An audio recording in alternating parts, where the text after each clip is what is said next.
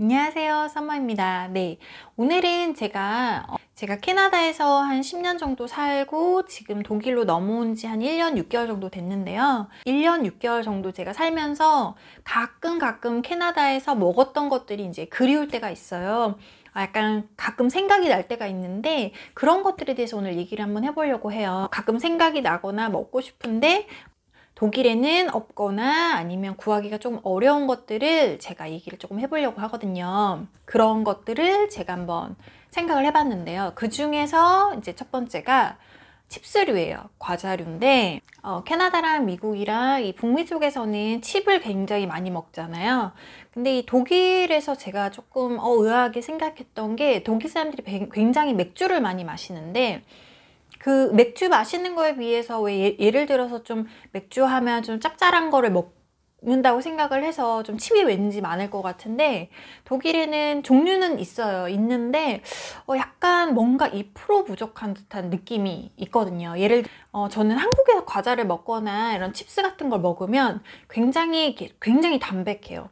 근데 어 이 독일도 물론 한국보다는 아니지만 미국이라든지 북미에 있는 그런 과, 칩스라든지 그런 과자류, 짱 과자류라든지 아니면 나초칩이라고 하죠. 그런 과자들은 굉장히 어, 조금 맛이 약간 2% 부족한 그런 게 있어요. 그러면 뭐 미국의 대표적인 러플스라든지 이런 브랜드들은 굉장히 맛이 강하고 그리고 이렇게 한 번 딱 먹으면 바로 뭐 탄산이라든지 이런 게 딱 땡기는 그런 맛이 있잖아요. 독일의 짱과자는 그런 종류가 많이 없는 것 같더라고요, 저한테는.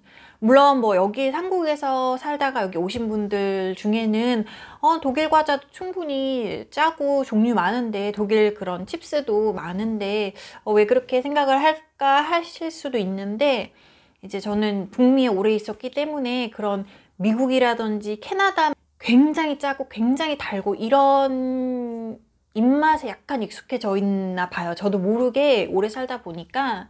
그런데 이제 그거에 비해서 독일의 어, 짱과자들은 음, 조금 2, 3% 부족하죠. 그래서 예전에는 뭐 지금은 그렇게까지는 어, 안 하는데 예전에 이제 가끔 저 언니를 만나러 미국에 가거나 아니면 친구가 캐나다에서 뭐 미국 독일로 놀러 오거나 할 때는 그런 칩스 과자 한 봉지 뭐 나초칩 같은 거 한두 개 정도는 제가 부탁을 하면서 뭐 사다 달라고 이렇게 얘기할 때가 있었었는데 어, 칩스들이 굉장히 저는 가끔 생각이 많이 나고 음, 뭐 제가 종류는 여기 몇 개 써놓을게요. 그 제가 캐나다에서 좋아했던 칩들하고 몇 가지가 있는데 제가 지금 이름이 생각이 안 나거든요.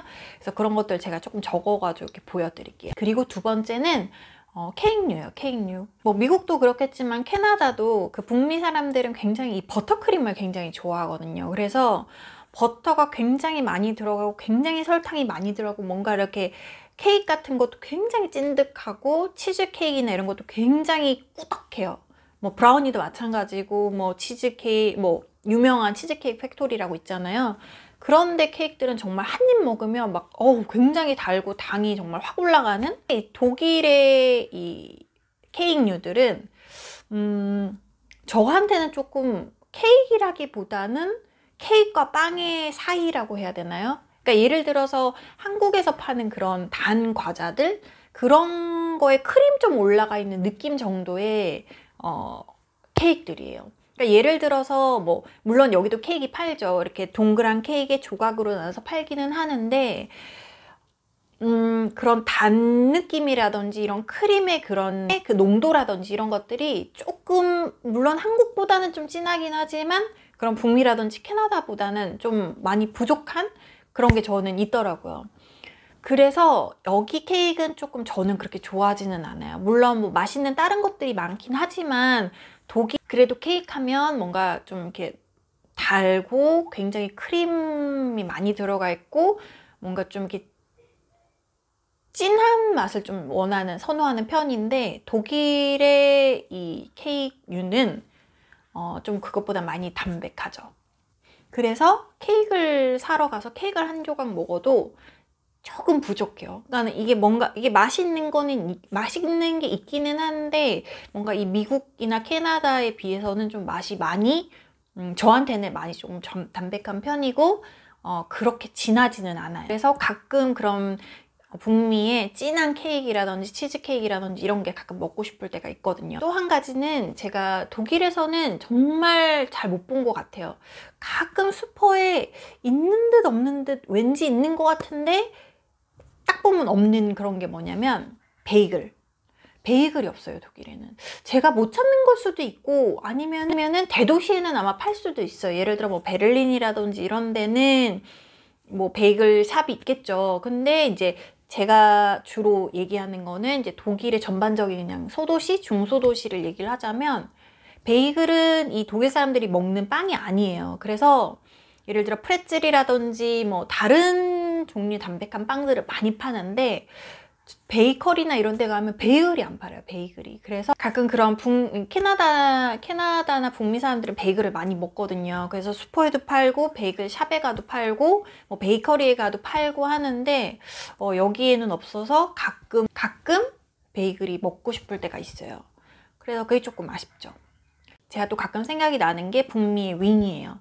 어, wing은 아시죠? 그 닭 날개랑 그 닭 봉이라고 하죠. 그런 건데 이 캐나다에는 캐나다에 제가 토론토에 살 때는 세인트 루이스라고 해서 그 스포츠 바라고 하죠. 남자들이 가서 뭐 술 마시고 맥주 마시면서 이 어, 축구도 보고 뭐 야구도 보고 하는 그런 스포츠 바 스포츠 바가 되게 많아요. 북미에는. 그런데 이제 거기에 가면 유명한 대표적인 안주가 이제 윙이거든요. 윙이랑 감자튀김 이렇게 나오고 맥주 이렇게 해서 이제 스포츠 보면서 어 먹, 그렇게 하는 문화가 있는 뭐 약간 우리나라 치킨집처럼 그런 게 되게 많아요. 캐나다에는 뭐 미국도 마찬가지고 그리고 종류도 굉장히 다양하고 뭐 그렇게 비싸지도 않고 어, 이 독일 사람들은 안 먹나 봐요. 잘 없어요. 물론 뭐 피자라든지 이런 걸 시키면 도미노 피자 이런 데 이제 곁다리로 이렇게 팔기는 해요. 뭐 조금 한 박스, 작은 박스에 뭐 4유로, 5유로 해서 팔긴 하는데 조금 맛도 그렇고 이 뭔가 어, 이 사람들 메인 음식이 아니다 보니까 조금 아쉽죠. 그런 부분이. 그래서 음, wing 같은 경우에는 저는 작년에 저희 언니를 보러 이제 겨울에 미국을 잠깐 갔다 왔는데 그때 이제 뭐가 먹고 싶냐고 물어보는 거예요. 그래서 저 제가 이제 윙이 먹고 싶다, 윙이 없다 독일에는 그래서 이제 윙을 먹으러 갔던 기억이 나는데 어 그렇게 왠지 이 유럽과 북미와 비슷할 것 같지만 음식 문화가 굉장히 다르고 그리고 물론 독일에는 더 그것보다 더 맛있는 음식도 많고 음, 북미에는 없는 음식들도 많아요. 근데 이제 저는 캐나다에서 오래 살았기 때문에 그런 문득문득 생각나는 음식들이 어, 이제 이 정도 있다는 거죠. 하지만 이제 독일로 오면서 많이 쉽게 접할 수 없는 그런 뭐 음식이라든지 과자류에 대해서 얘기를 해봤는데요. 북미에는 있지만 북미 캐나다나 미국에는 있지만 좀 유럽이라든지 아니면 제가 살고 있는 이 도, 독일에는 어, 있, 없거나 아니면 있어도 잘 보기 힘든 그런 가게들에 대해서 얘기를 한번 해볼 거예요. 그래서 어, 다음 편도 많이 기대해 주세요.